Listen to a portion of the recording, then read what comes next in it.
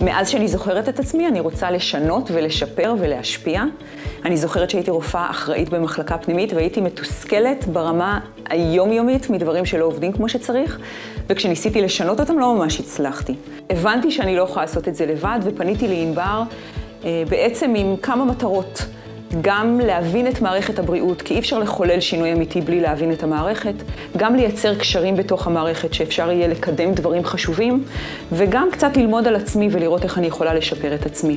היום, אם יש אתגר, למשל, איך לשפר את תרבות הבטיחות בבית החולים, אני יודעת הרבה יותר טוב איך לגשת אליו, איך לנתח אותו, איך להתמודד עם התנגדויות שיש לאנשים, ובאמת להתמודד איתו יותר טוב. החוויה בענבר היא חוויה... אה...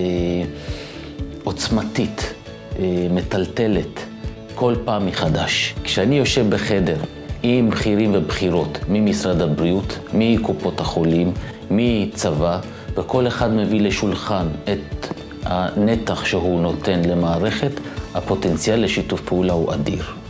מעבר לזה, אנחנו כולנו פה לאותה מטרה, לשפר את המערכת, ואנחנו מאוד רוצים לעזור לקדם אחד את המטרות של השני, וזה יוצר קבוצת פירס כזאת, שאני לא מכירה מהחיים הבוגרים, מאוד מיוחדת, אנשים שבאמת נמצאים שם אחד בשביל השני, ואני יודעת שאני רכשתי חברים לכל החיים, שאני אוכל, ואני בטוח, אתייעץ איתם הלאה. מה שאני חוויתי בענבר זה לבוא ולהסתכל על החיים בעיניים של האזרח הערבי, האזרח החרדי, בעיניים של האזרח עולה החדש, וזה לצורך העניין גם אם אתה לא מסכים עם דעה כזו או אחרת, בהכרח בהכרח הופך אותך למפקד יותר טוב, לאזרח יותר טוב ובטח למנהיג יותר טוב.